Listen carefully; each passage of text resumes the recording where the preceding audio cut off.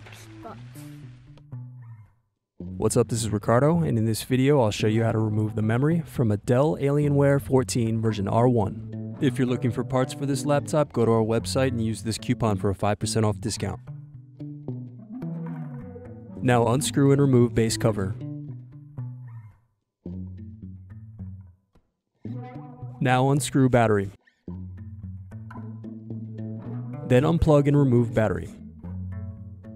Next separate clips and remove memory.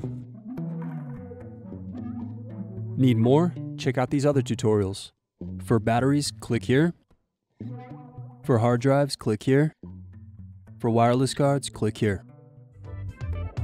Thanks for watching. If you enjoyed this tutorial, give this video a like and subscribe to our YouTube channel. Check the video description below for links to written tutorials and replacement parts.